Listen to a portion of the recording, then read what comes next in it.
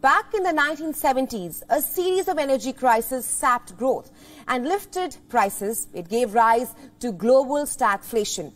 The question is, what is stagflation? Well, it is a combination of slow economic growth or economic stagnation and inflation, while the reasons leading to it may be different. The current economic outlook is not. Two of the world's biggest economies, the United States and China, are struggling. Millions in America are living on the edge. They are struggling amid historically high inflation. Food prices have shot up. Oil has become expensive. The cost of energy has jumped 41.6% in the last year. And the trend continues to move in the wrong direction. The Consumer Price Index, a gauge of inflation, jumped to 9.1% in June from a year earlier. This was the largest jump since 1981. The US GDP shrank at, at a 1.6% annual rate in the first quarter. According to Reuters, a report later this week is expected to show a gain of just 0.4% in the second quarter. Some even predict that the GDP hitting the same number as quarter one.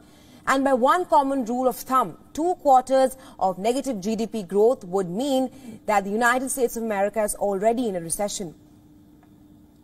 However, U.S. President Joe Biden announced that he does not expect the United States to suffer an economic downturn. He says in his view that the U.S. is not going to be in a recession. Listen in.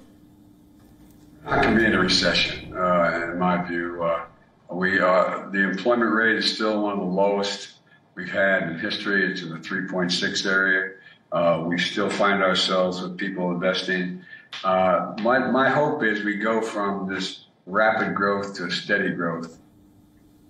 Meanwhile, the U.S. Treasury Secretary Janet Yellen also says that U.S. economic growth is slowing and further acknowledged that the risk of a recession, but she says that a downturn was not inevitable. While both Biden and Yellen downplay recession risk, the numbers clearly show that the U.S. economy is at least on the brink of a recession.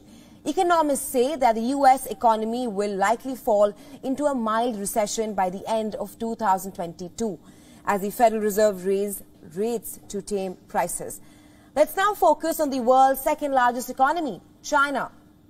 China is in troubled waters yet again. Its economy is riddled with not one but two multiple crises. A wave of boycott is roiling the property market. A rural banking crisis is brewing.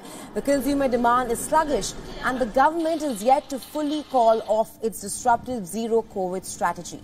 The economy is not looking encouraging either. China's GDP barely grew in the second quarter, while COVID lockdown continued to stifle growth. It expanded only 0.4% year on year between April and June. The economy grew at the slowest pace since the start of the pandemic.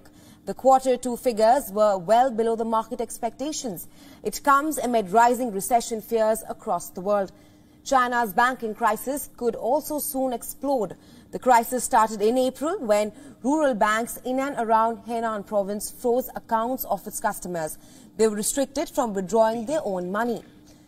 How much money did the banks freeze? Well, over 39 billion yuan. That is almost $6 billion. This triggered several protests. One of the biggest ones was on July 10th when over 1,000 angry customers lined up outside one of the banks demanding their money to be returned. A probe finds that a private investment group in the province had been siphoning off deposits from small banks, which blew up into a major crisis.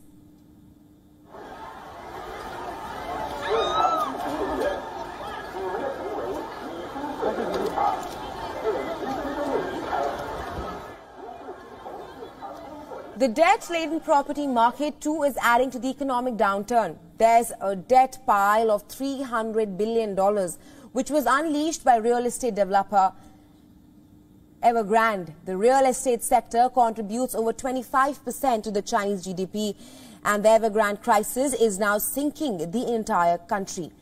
The IMF has cut global growth forecast again, warning that downside risks from high inflation and severe slowdowns in the United States and China.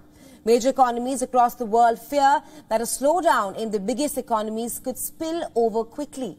While recession soon be a reality for the world, That remains to be seen. But what experts say is that if recession is on the horizon, it won't be like anything we have seen before.